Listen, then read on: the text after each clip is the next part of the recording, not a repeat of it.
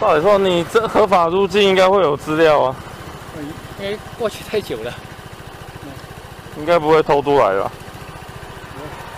不会，过期了，过期入境也会有资料啊。